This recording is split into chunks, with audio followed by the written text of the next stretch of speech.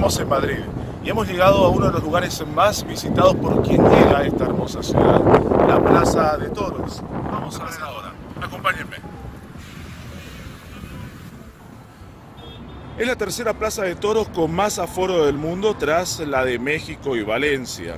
También es la segunda más grande en cuanto a diámetro de su ruedo. ¿Saben cuánto? 61,5 metros tras la de Ronda. La Plaza de Toros fue eh, inaugurada en 1929. Los viernes y sábados es cuando generalmente se realiza este espectáculo que es muy admirado por unos, criticados por otros por los defensores de los animales.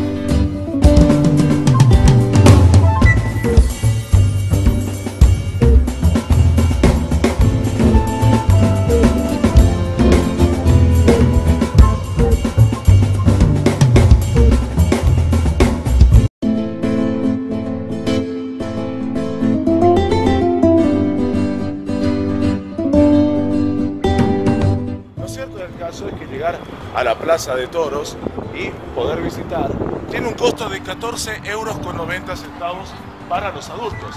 Los estudiantes 11 euros con 90 centavos y eh, los niños de 5 a 12 años 5 euros con 90 centavos. Y eh, eso cuesta visitarlo. Y para participar incluso se venden bonos que es así como a usted le gusta el fútbol o le puede gustar otro deporte, acá son muy fanáticos de este espectáculo. Fíjense, hay renovación de abonos, nuevos abonos.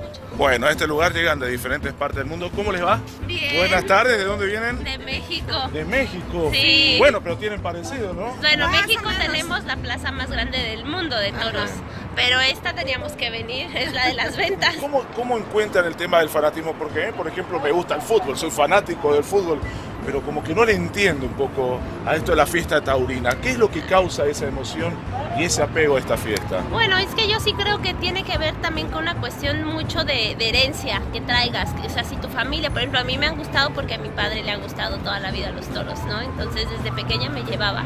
A veces con el fútbol pasa lo mismo.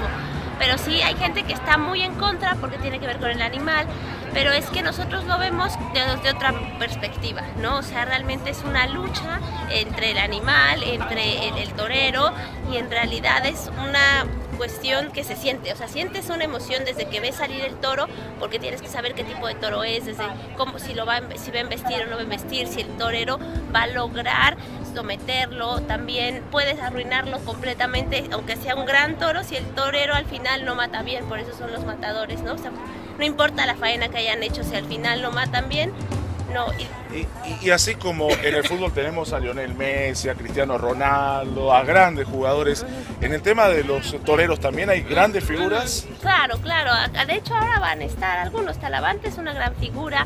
Este, de Morante, Silvetti, ¿no? Bueno, nos están dando cátedra. y para cerrar, ya que estamos en España, ¿qué les parece si hacemos un olé? ¿Listo? Olé. Uno, dos, tres. ¡Olé! Gracias, es muy amable.